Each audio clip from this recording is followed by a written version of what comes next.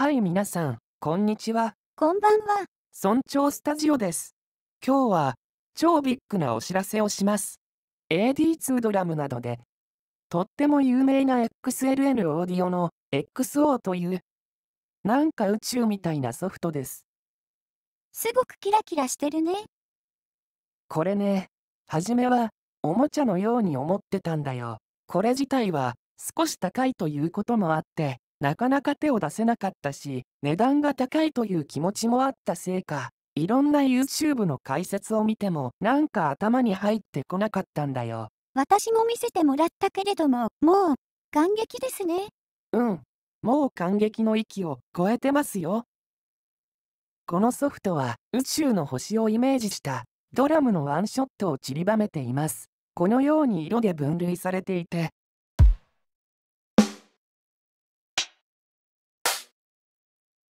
この赤いところはバスドラムという具合なんだよ。そして、この青いところのあたりがスネアだったり、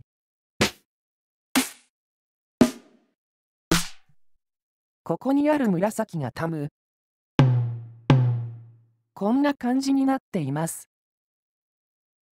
そして、これがさらにすごいのは、下の部分をカチンと選んだら、このバスドラムの音に近い音が鳴るんだよ。こんなのはどうでしょうか？というような提案をしてくれます。わあ、すごい。それだけではなくって、このように検索ができるようになっていまして、キックだけを見るというときは、キックとすれば、この辺になります。そして、オープンハイハットが、この緑色ですね。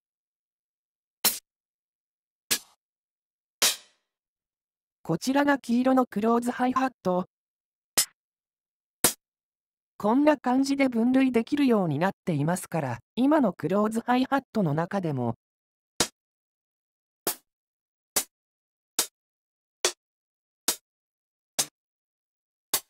画面下でこのようにすると、近いイメージの音が選べます。そして自分の持っているワンショットサウンドを追加できるようになっています。僕はザループロフトという大量のドラムの WAV ファイルを購入していまして、そういうのを追加することができます。ここで、このフォルダーマークのボタンを押すと、こういうような画面になります。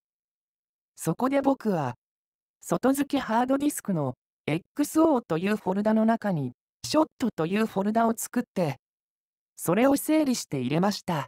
この整理も大変だったんだよね。そう、ループとかいろいろ混じってる中から、ワンショットの音だけを抽出しました。この中にサンプルというのがあります。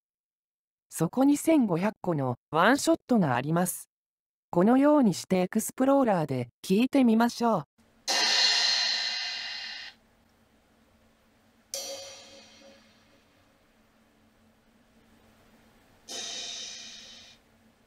これはタムですね。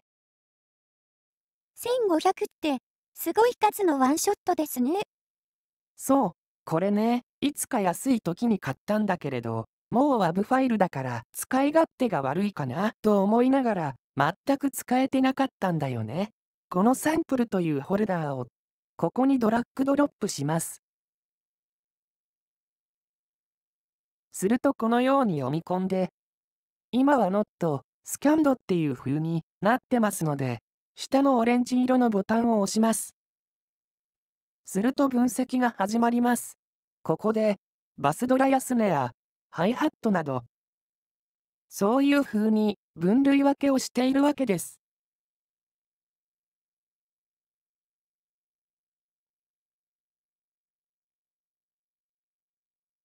1500をノーカットでお見せします。だいたい10秒から20秒ぐらいで済むと思います。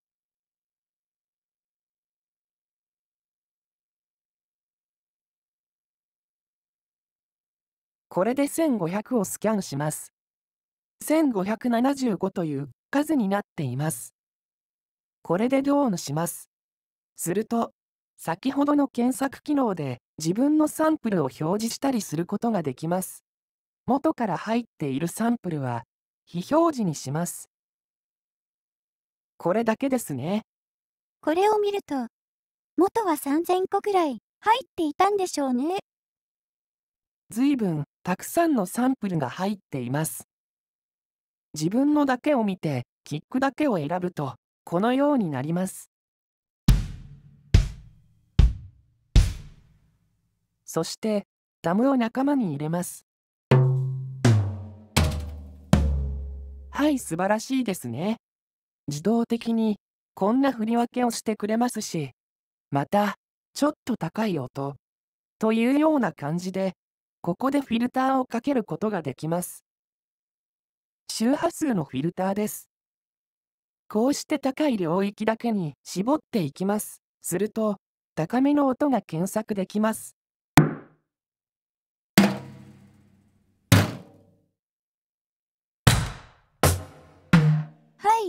このような感じにもなりますし、他には、レングスというのでも選べます。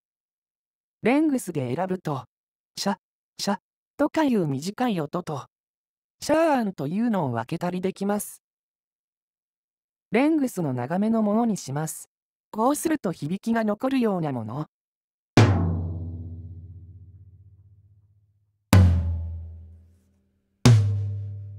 このようになりますし、その逆にしますと、こんな感じです。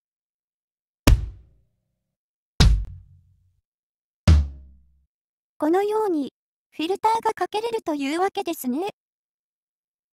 こんな風に、とっても検索が優秀な XO です。これなら迷わず、便利に探せますね。はい、その通りですね。こんな風に、サンプルを検索したりできます。そして、検索したサンプルはこのように、例えばバスドラム。はい。こんなのが気に入ったとしたら、このキックのトラックにそれを入れ込みます。このようにして、スネア。これを採用しましょう。このようにして音選びをしていけるわけです。今、どんな状況になってるかというと、上のエディットというところで見れます。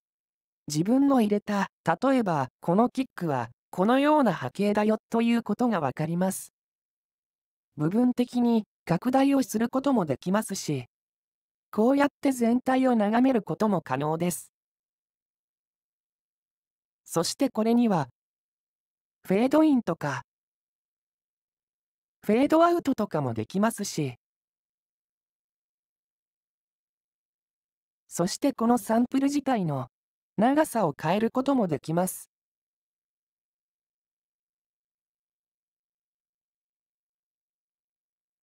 こんな感じですね。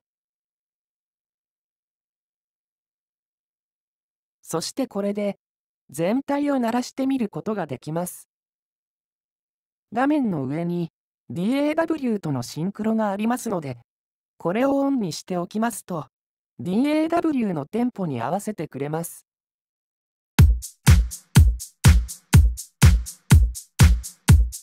もちろん、ソロやミュートもできます。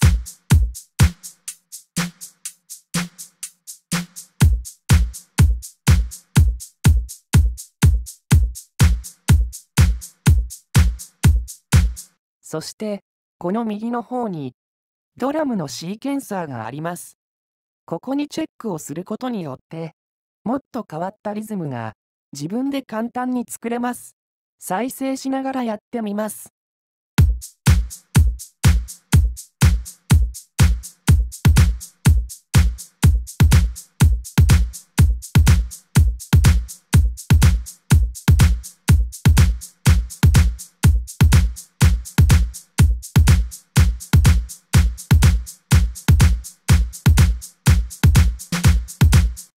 例えば、この最後のところに、今、16分割になっていますが、もっと細かなこともできます。このようにすると、タタというのが入るようになります。ちょっとやってみましょう。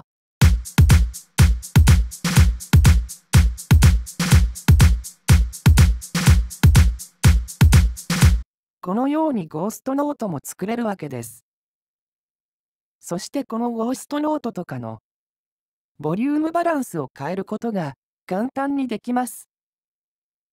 ここにアクセンチューターとでも読むんでしょうか。こういうボタンがありまして、ここで強弱を作ることができます。このようにすると、糊が作っていけるわけです。そして、ここでもう一度鳴らしてみます。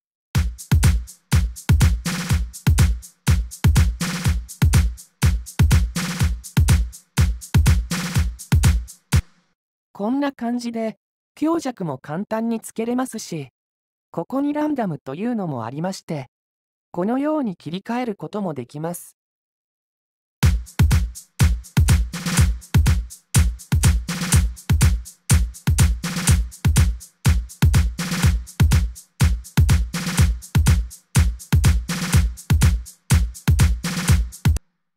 何でもできちゃうんだね。うん。もうびっくりびっくり。なんでこんなソフトをもっと早く買っておかなかったのか、そんな感じに思います。そして、今のこのノリを、どれだけ反映させるのか、というのが、ここに、ベロシティというのがあります。このベロシティで、今は100%になっていますので、このノリのように演奏しますが、これを、ちょっとソロにしてみましょう。そして、これを左に回すと、このノリはあまり反映しなくなります。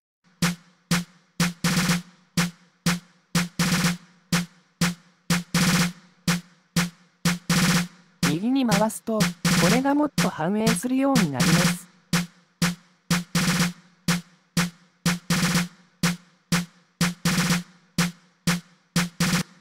こんな面白いパラメーターがある。というわけです。これらはコントロールキーを押しながらクリックすると、このようにすぐに標準値に戻すことができます。ここにはフィルターもありまして、低音をカットするとか、そういうこともできるようになっていますし、ここに TON とあるのは、これはトーンの略です。ですから、これで高い音、低い音というような音にできます。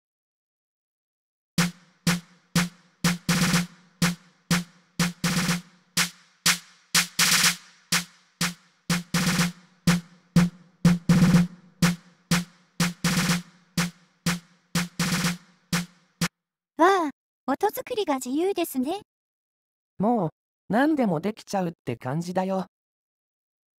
ここにはピッチもありますから、もっと音程を変えたりすることも簡単です。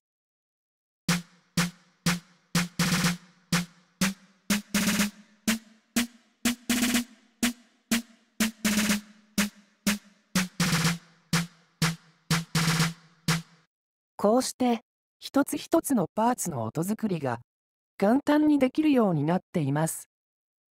さらに、もっとアタックやホールド、そしてサスティーンの部分をこの波形で変えることもできます。例えば立ち上がりを強めにして、中間部分をある程度継続してというような、こういう設定です。これをやってみます。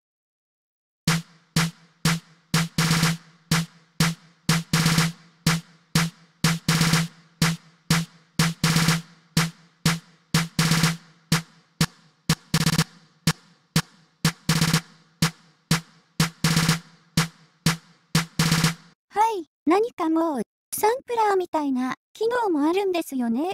そうだよ。もう、本当に、いろんなことができて、ここでは、FX を2系統送ることもできるし、ドラムを逆再生。リバースっていうやつですね。そうそう。それも簡単にできるんだよ。例えば、キックを入れておきますね。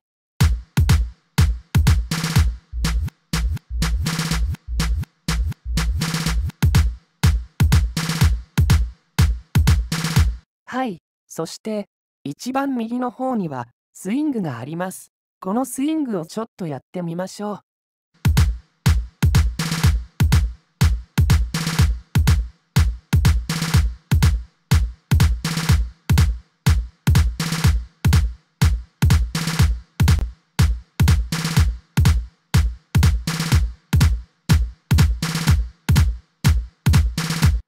もちろんスイングは全体としてのノリが必要な場合がありますので、それはここにグローバルスイングというのがあります。このようにプリセット的なものもありますので、ここでグローバルなスイングを上げていってみます。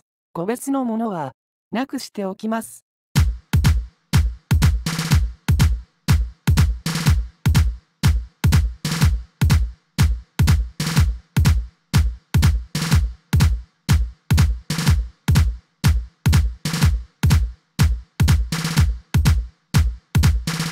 はい。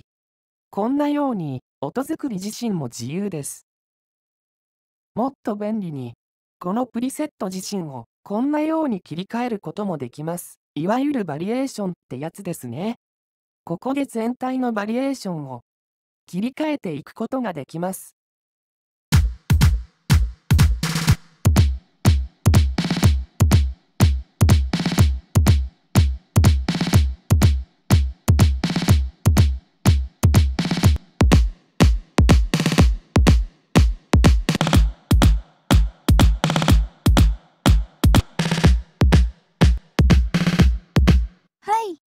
は一緒なんですね。そうだよ。今は音色のバリエーションというのをここで変えれたということになります。そしてリズムのバリエーションは上部のプリセットで変えていくことができます。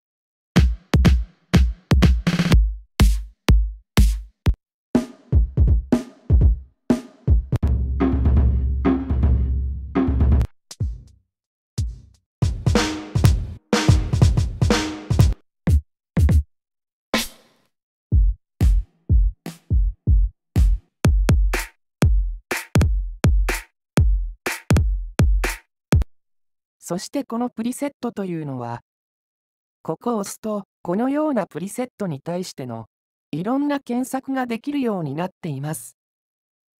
例えば今の状態をマイプリセットとして保存するときは、セーブをします。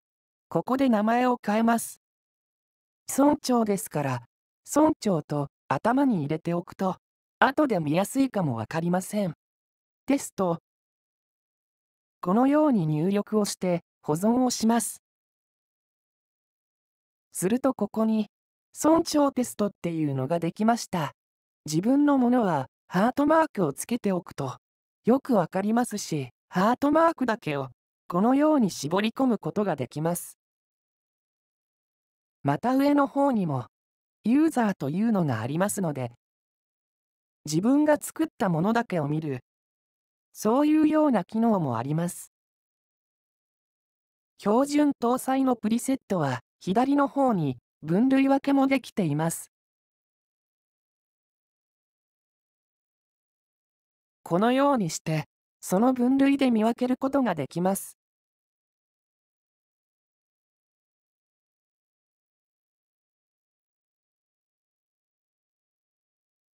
そして、ここで聞いてみることができます。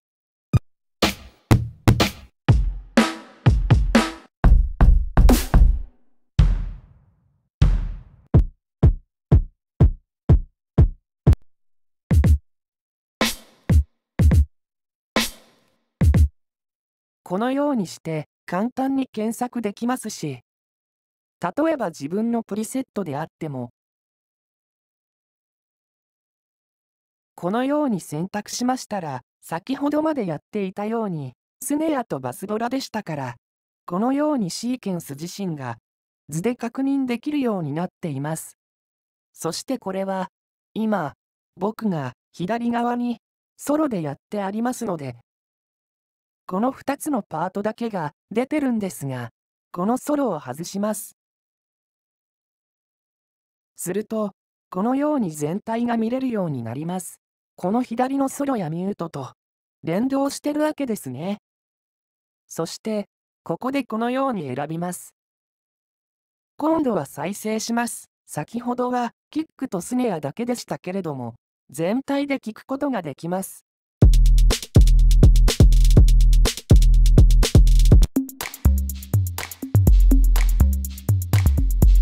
して作ればここでまたバリエーションが10目を選べます。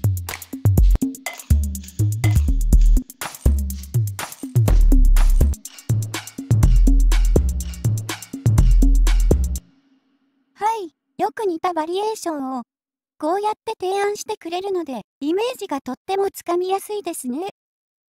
はいそしてなおかつここでやった例えばキックだけのイメージを聞きたいときには、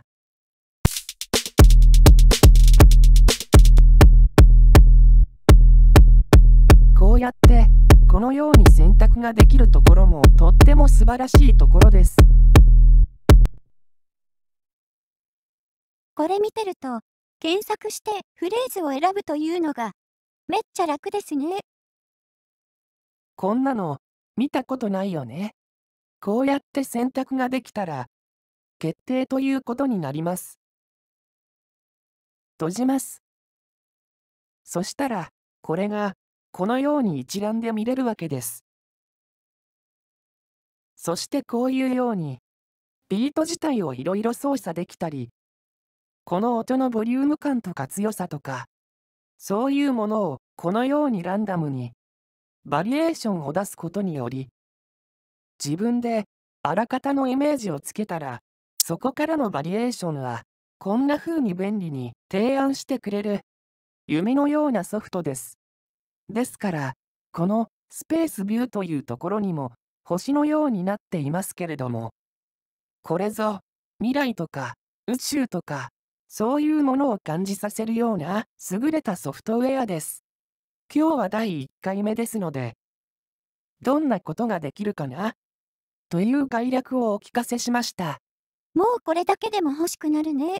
そうだね。こんな新しい感覚でのプラグインが欲しかったんだよ。コンプレッサーやイコライザーなんてもう飽き飽きするほどになってたから。こんなソフト、なぜもっともっと注目されないのか不思議です。多分皆さんは、これがどんなことをするソフトなのかが分かってないんじゃないでしょうか。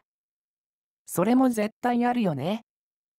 そんなに高くさえなければ絶対に欲しいというようなソフトですよね。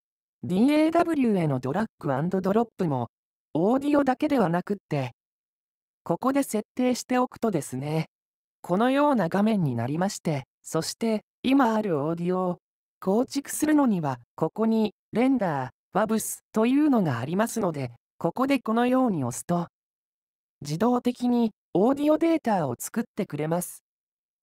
このオーディオ自身をドラッグドロップすると、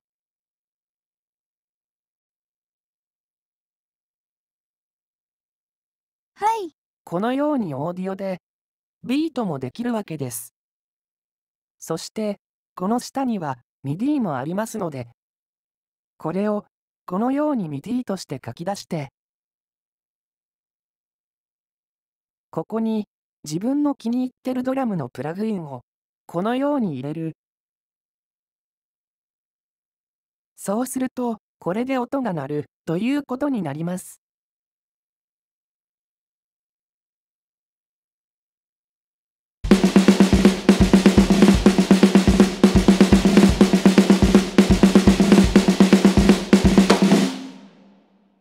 はい、こんな形で他のドラムソフトと連携もできちゃうんだよ。おお、それもすごいね。MIDI もオーディオもどちらもできるってすごいですよね。ただし、MIDI でやるともちろん今聞いてた音とは変わります。例えばオーディオでしたら今聞いてた音そのものになります。